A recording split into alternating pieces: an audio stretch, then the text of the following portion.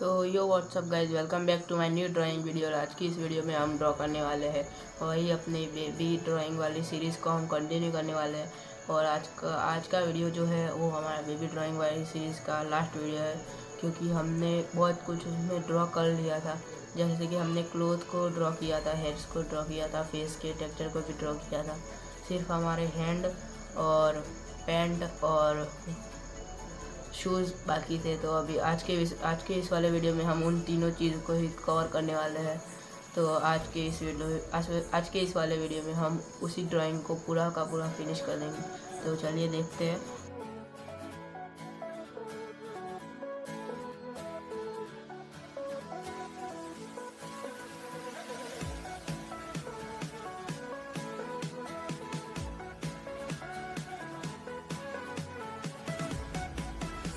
और यहाँ पे हमारे, यहाँ पे अभी मैं फ़ोन में आपको रेफरेंस इमेज भी दिखा देता हूँ, जिसको हमें ड्रॉ करना है। यहाँ पे शूज़ और पैंट और हैंड को हमें ड्रॉ करना है तो आप देख लीजिए कैसे मैं ये देख रहा हूँ और उसके बाद हम ड्रॉ करना स्टार्ट करेंगे थोड़ी देर में। तो आप देखिए हम कैसे करते हैं। और उसके पहले पहले हमारे वीडियो पर न्यू आए हो तो वीडियो को लाइक कर देना और चैनल पे भी पहली बार विज़िट कर रहे हैं तो चैनल को सब्सक्राइब करके बेल नोटिफिकेशन को ऑल पे सिलेक्ट कर देना, ताकि हमारी न्यू से न्यू वीडियो आपको जल्द से जल्द से मिल सके। तो अभी हम स्टार्ट करते हैं। तो यहाँ पे पहले हम एच पी पेंसिल का यूज़ करेंगे, जिससे हम बेस लेयर को अप्लाई करेंगे। लेकिन उससे भी पहले हम हैंड में, यहाँ पे हमने जो पहले ग्रिड को ड्रॉ किया था, उसको अभी हम इरेज कर लेंगे हैंड में। तो यहाँ पे मैंने ग्रिड को इरेज कर लिया है, और इसके बाद मैं यहाँ पे फिर एच बी पेंसिल से पूरा के पूरे हैंड में शेड करूँगा लाइट हैंड से। तो आप देखिए मैं कैसे कर रहा हूँ।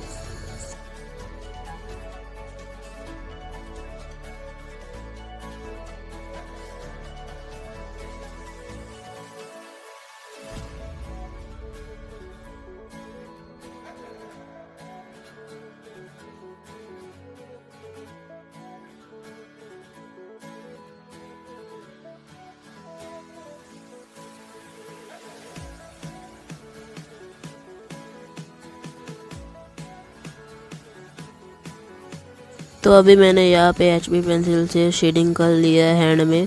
तो अभी हम यूजिंग वो पेंटिंग ब्रश से उसको ब्लाइंड भी कर लिया है। इसी के साथ साथ मैं यहाँ पे हल्का कॉटन का भी यूज़ कर रहा हूँ स्मूथ शेडिंग के लिए। और फिर से मैंने यहाँ पे ब्रश यूज़ किया था और मैं फिर से अभी एच पेंसिल का ही यूज़ कर रहा हूँ। जहाँ पे हमें डार्क एरिया से वहाँ पे मैं फिर से उसे एच से ही शेड कर रहा हूँ ताकि वो ज़्यादा डार्क ना हो और हमें जैसे रेफरेंस फ़ोटो में दिख रहे हैं, वैसा ही रहने दे। तो अभी मैं यहाँ पे वैसे ही कर रहा हूँ। आप देखिए और कैसा लगता है वो कमेंट में बता के जाना। तो अभी मैं यहाँ पे इसी टेक्निक से वो दूसरे वाले हैंड को भी ड्रॉ कर लूँगा। तो आप देखिए और जो आपको अच्छा लगे वो कमेंट में बता के जाना।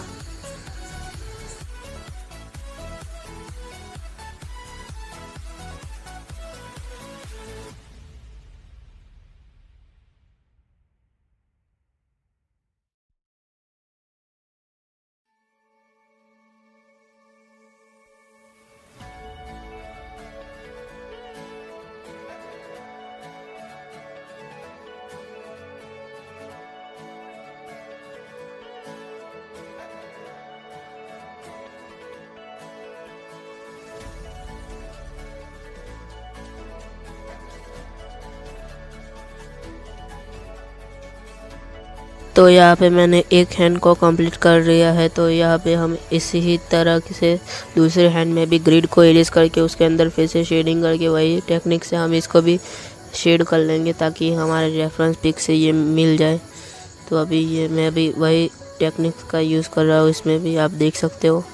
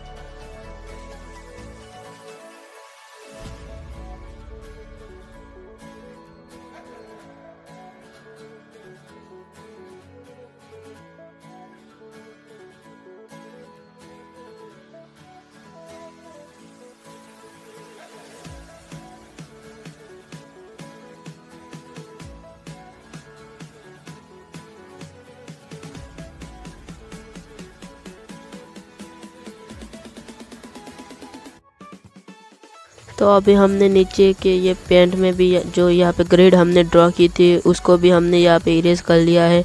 तो अभी हम इसके अंदर भी शेडिंग स्टार्ट करेंगे। लेकिन इसके अंदर मैं एचबी का यूज़ नहीं करूँगा। पहले मैं टू बी से इसमें हल्के हैंड से शेड कर रहा हूँ।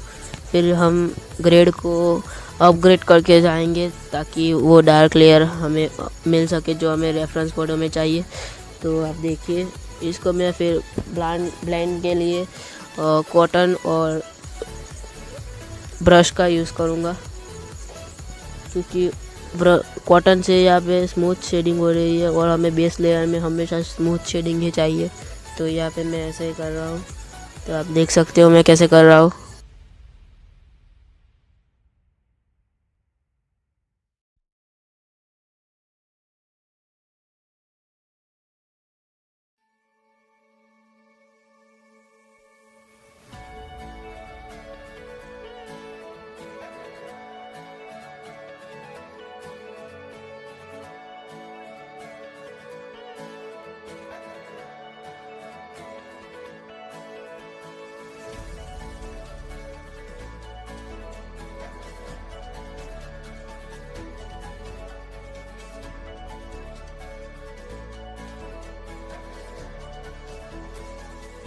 तो यहाँ पे अभी मैं फोर बी पेन मेरा मतलब एट बी पेंसिल का यूज़ कर रहा हूँ हल्के हैंड से। ताकि ये ज़्यादा डार्क ना हो एक ही बार में। यहाँ पे हमें लेयर बाय लेयर शेडिंग करनी है इसलिए। तो आप देखिए मैं एट बी पेंसिल से कैसे हल्के हैंड से यहाँ पे शेडिंग कर रहा हूँ। इसके बाद हम इसको भी ब्लाइंड कर देंगे।